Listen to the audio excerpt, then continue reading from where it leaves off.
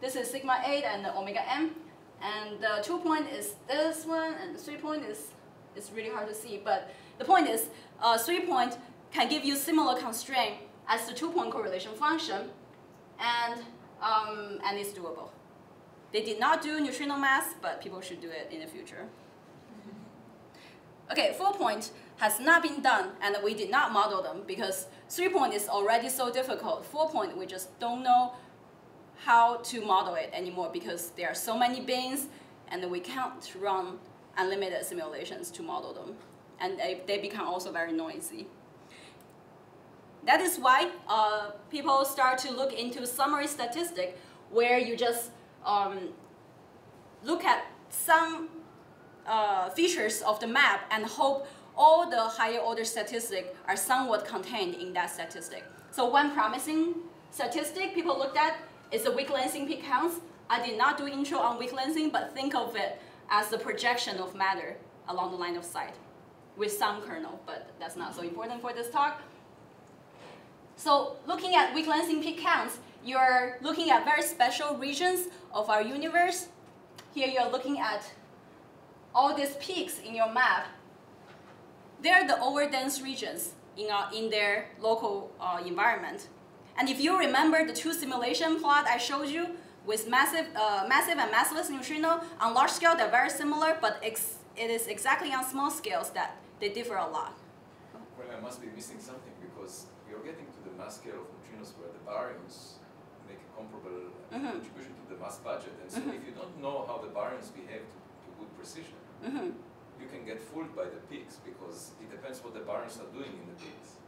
That is a very good question, and that's kind of my goal here, to understand what, what baryons do, and how can we break the degeneracy between them. Yeah, but I have not done that. People have tried that uh, before. Maybe I'll show you in the backup slide what people found so far, but uh, indeed it is a worry.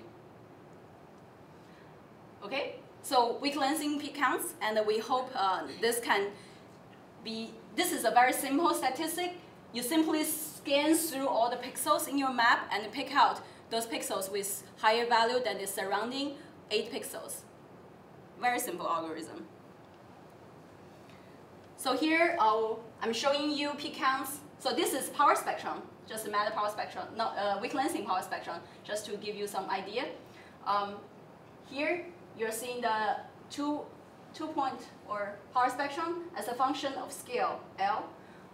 And here you see three, uh, three curves. One is the fiducial, and another three is if you change the three parameters a little bit. And here I'm doing the ratio plot again. So you see that if you change the three parameters, the curve just shift almost just by amplitude with very subtle in their shape change. That is why you see some degeneracy of, of neutrino mass with other parameters, where if you boost up the neutrino mass, you can compensate uh, by reducing the total mass content in our universe. So with peak counts, this is what we see as a function of the peak height or the value of the pixel. And this is a histogram of all the peaks you find. And this is what you typically see. And you see some long tail. Here are the really large halos in the universe. And here are the slightly um, uh, smaller halos in the underdense region. And if you look, again, if you change these three parameters, this is the shape you see. So no longer uh, up and down movement. There's some squeeze, and then the tail changes. And we hope combining this and power spectrum, you can constrain the parameter better. And let's just move on to show you the money plot. So this is a work led by Zack Li, a grad student at Princeton. Again, let's just focus on this little one corner of this plot that I showed you earlier for bispectrum as well. So neutrino mass and the uh, power spectrum amplitude, sorry, uh, initial power spectrum amplitude. Using the lensing power spectrum, this is what you get. And using peak counts, aha, uh -huh, it's already improved compared to the bispectrum. So if you combine them, you pretty much get peak counts because, uh, get what peak counts give you because it's already very small. So that tells us peak counts has information, not just the third order, but also something maybe from second order, even higher order. So it is a very powerful tool to constrain neutrino mass.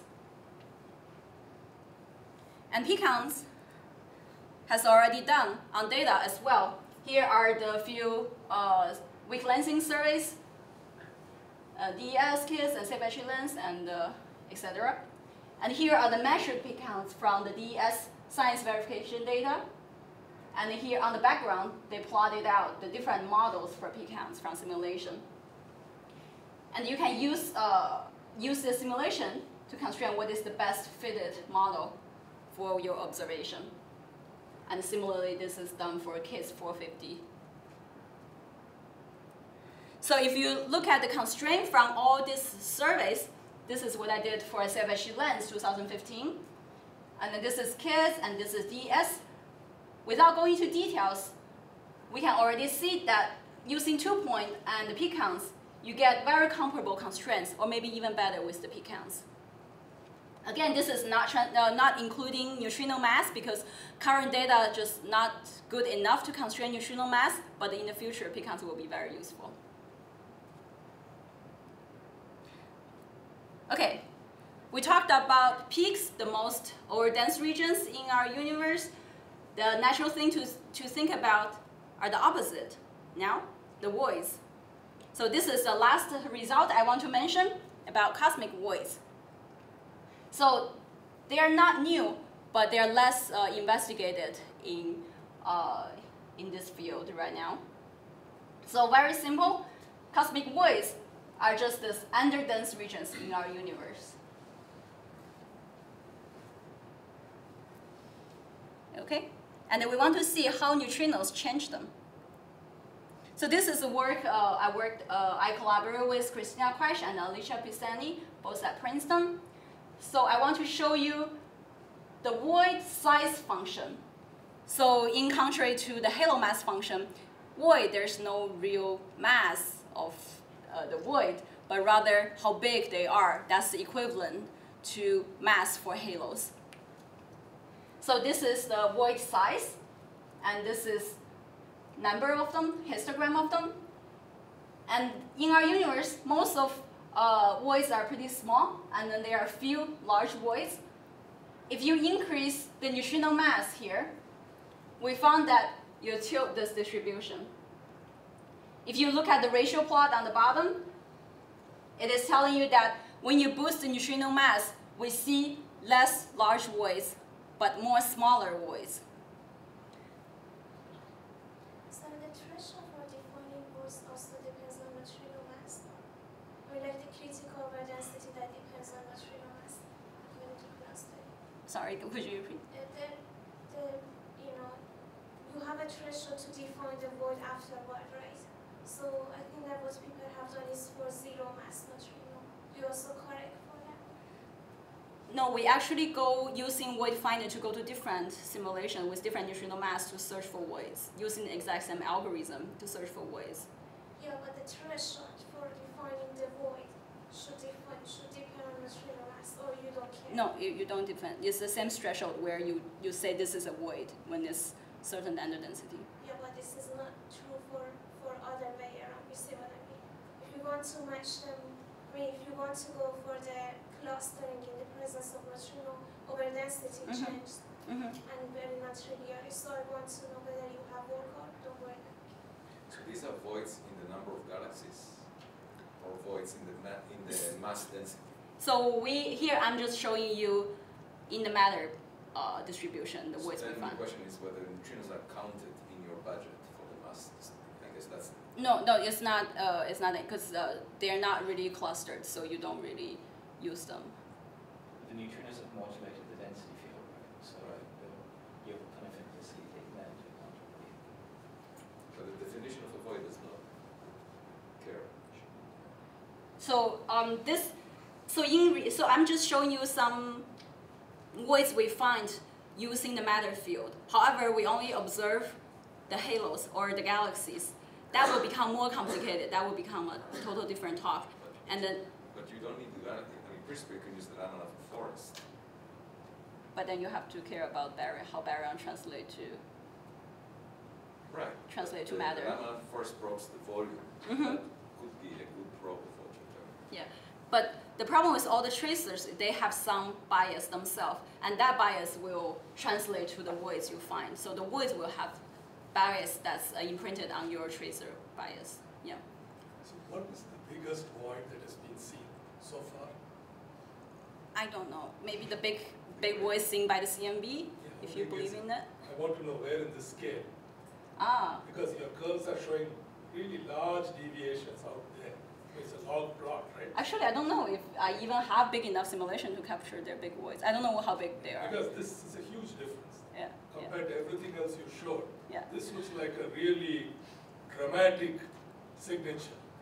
of the Also, this is somewhat I unrealistic. know, yeah, still, yeah, yeah. still. That's I right. think, Yeah, uh, yeah, yeah, That's probably where you want to go and compare with data. yeah, at yeah. the Look, largest. look at the uh, axis, the vertical axis, you have one such void per gigaparsec cube. Okay, fine.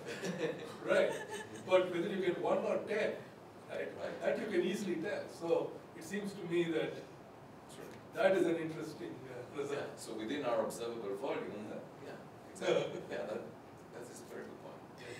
Yeah, so voids can be indeed very promising too, but we have not translated to cosmology because of the limit number of simulations we have. And there are more subtle points about voids we can talk more later. But I just want to um, put up my summary um, so we can have some discussion. One, massive neutrinos suppress the growth of structure. Two, there are simulations that you can use to study more about neutrinos. It's all public, so please use them. Three, there's rich information in the nonlinear regime that is beyond two-point correlation function, and we should look into that. Thank you for your attention.